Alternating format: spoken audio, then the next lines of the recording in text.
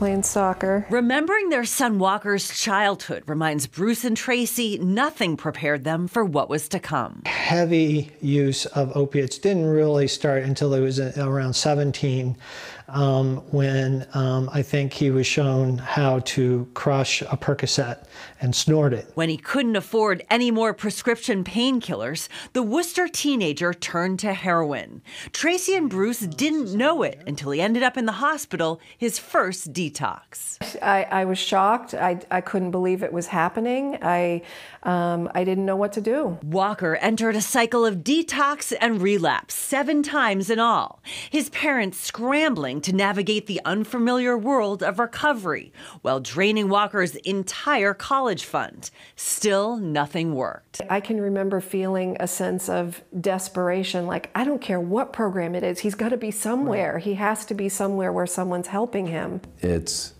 just heartbreaking to spend time